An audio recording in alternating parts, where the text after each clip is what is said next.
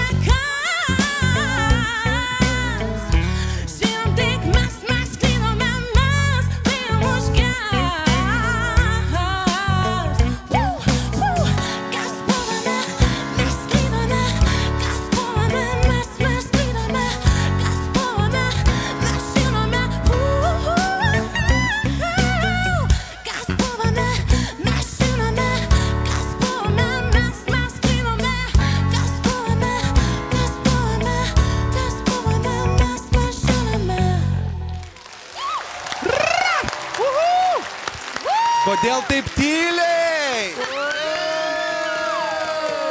Va, kitas reikalas. Pažiūrėk, ir čia mes turim, kas džiaugiasi. O oh my god, o, išvardink, kas čia, kas čia, kas čia, nuo viršaus. E, Mano vyras ir mano draugai irgi Ingrida Talekytė, labai mano gera draugė, Labai gerai. labai smagu, ačiū. Brangų žiūrovai, ponios ir ponai, noriu Jums pristatyti pirmąją šio vakaro mūsų viešinę. Tai yra Elizabeth. Tiem, kas nežinojo, jie yra 23 metai, dainuoja ji nuo ketverių. Yra Vilnietė, nuostabaus kulinarinių sugebėjimų, puikios azijietiškos virtuvės išmanytoja, turi šiek tiek karšto kaukazietiško kraujo. Jeigu Jūs susidomėjote, skambinkite 1669, numeris 01 ir Jums pateiksime šią a, damą ir Jums galės padainuoti virdama makaronus. Yes. Taip. Mums žino garbė, kad tu esi šiandieną su mumis ant scenos. Tikrai esi fantastiška dalyvė. Mes labai norėtumėm ir prašytumėm tavęs, kad tu kreiptumėsi į mūsų žiūrovus, tiesiai į jų namus, tiesiai į jų širdis, uh, su prašymu arba su tiesiog su mintimi, kodėl jie turėtų palaikyti tave. Mėlėjai, prašau jūsų labai palaikyti mane ir balsuoti numeriu 166901. Dėl to, kad e, daugiau nei 20 metų dainuoju ir noriu pagaliau, kad mano svajonė išsipildytų ir galėčiau tai daryti ne tiesiog prie darbų, bet kad tai taptų mano šimtaprocentinis darbas. Štai. Palaikymo plojimai, aplodismentai visą laiką labai malonu, gražu ir gerai. Ponas Montvidai. Lietuvos balsas, išskirtiniai metai ir e, vėl tas buvo klausimas pakibęs. Įvyks superfinalas, neįvyks ir, ir, ir ar kiek tų laidų bus. Ir šiuo atveju vietoj trijų laidų mes turime vieną superfinalą, dėl ko aš labai džiaugiuosi, mes visi mokytai džiaugiamės, kad jis įvyks. Ir tai, ką pradėjome, mes turime užbaigti. Ir e, esmė tame, kad mes turime 12 atlikėjų ir mes turime po vieną pasirodymą. Po vieną pasirodymą. Viso labo 3 minutės parodyti tai, ką jūs turit geriausia.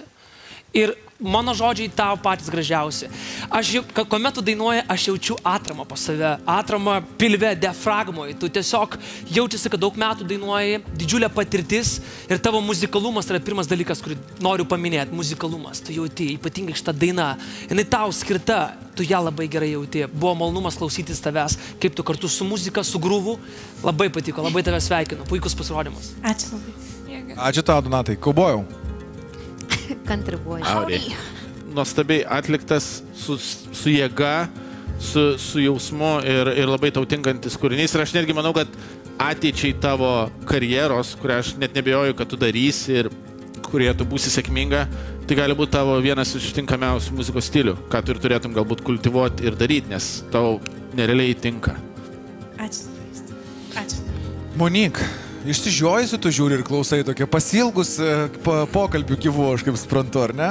Tikrai taip, aš ką tik perėjau per visą amplitudę emocijų, man jau spėjo susukti pilvą, jau spėjo pasidaryti vėl gerą, jau vėl aš labai labai pergyvenau dėl Elizabet. e, Ir e, aš atsimenu, kad pirmas dalykas, kurį išgirdau iš tavęs, kai tik susipažinom pačioje pradžioje Lietuvos balso projekto, tu sakei, kad viskas, ateinu ir tai praktiškai šitas projektas nulėmė tavo sprendimą dėl muzikos. Ir man, man tai buvo pats labiausiai įstrigęs iš širdį dalykas. Dėl to, kad aš suprantu, kaip yra... Mm, čia yra pats blogiausias dalykas, kad mes negalime apsikabinti šiuo metu. Noriu paprašyti visų, visų. Paplokim Elizabet, kad jinai atidarė super finalą. Ir atidarė Simona! tiesiog stulbinančiai. Ačiū. Aš labai tavim didžiuojuosi, tu esi žvaigždė. Ir tie, kas tavęs dar negirdėjo, šiandien išgirs ir išgirs su visam.